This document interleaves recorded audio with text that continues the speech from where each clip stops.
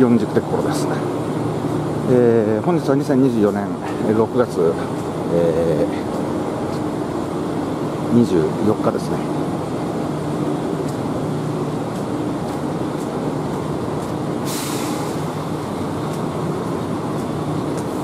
えー、ここは、えー、広島市南区。広島港ですね、えー、目の前ね、あのー、1900系ですね、えー、いるんですけどこの度あの1900系2両ですね、えー、引退するということで、えー、1902と3ですね、えー、2番の、えー桃山と3番の舞妓ですね。この京都から来た分にはこう一両一両は名前がついてます。この1901は東山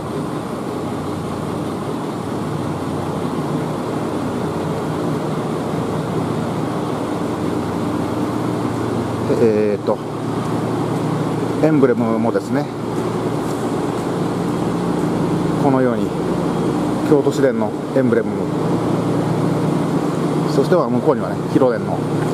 エンブレムがありますが、えー、昭和53年広電遺跡ということで、えー、まあ謝礼もね結構古いですから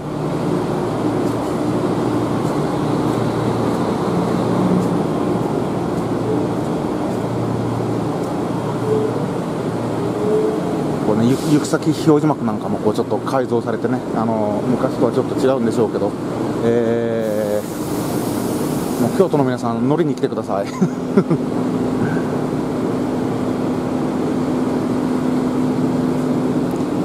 1902と1903ですね、まあ、映ってるのは1901ですがいろいろねあの天井にはあの冷房の機械も載せられたりとかしてかなりあの形はね変わってると思うんですけどまあそれでもこうやってずっとあの京都からですね15両来て、えー、頑張ってくれてるんですけど、えー、まあ、ついに2号と3号が引退ということで、まあ、イベントも開かれるそうなんですけど、あのー、休みが取れないのでイベントには行かれません。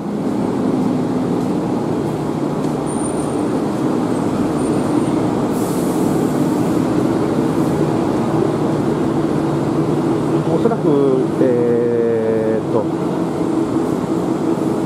横川とのね、あの間で運行されるものと思いますが、えーと、引退のあの2号と3号はねあのこの横川とエヴァですね、えー、この間でさよなら運転がねされます。広電本社の車庫で、えーと、撮影会とかのイベントもねありますがいや残念行かれない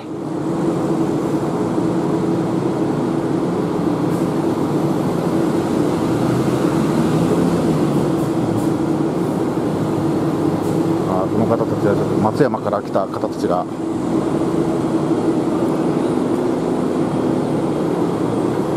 うんやっぱりあの槍山中には見ない光景でしたね、まあ、1人、2人はいるんだけど、何集団でこう船から降りてきてっていうのはね。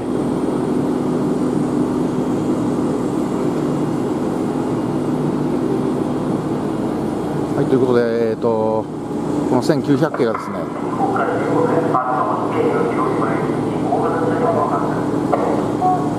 まあ、1900系引退ということで、まあ、1900の何かいればいいなって思ってきたんで、まあ、あの引退する車じゃないんですけど、まあ、当分は運行されますんで。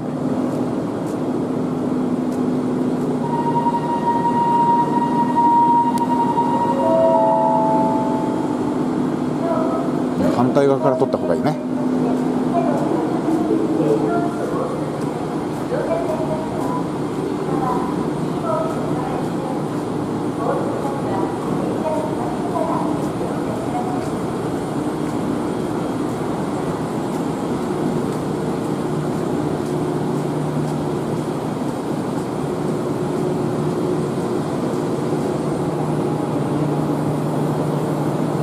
はいということでですね、えー、1900系に会いにやってきました。でふと見ると横はレジーナじゃないですか。サンフレッチェレジーナ。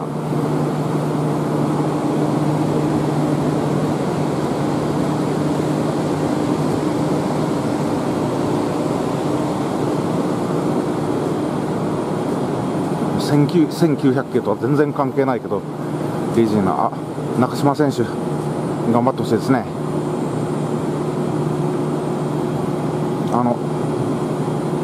アジア大会だけなんか豪快にねゴールを決めてくれましたけど。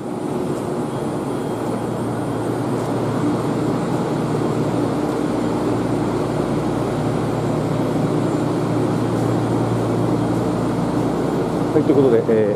ー、レジナ号に。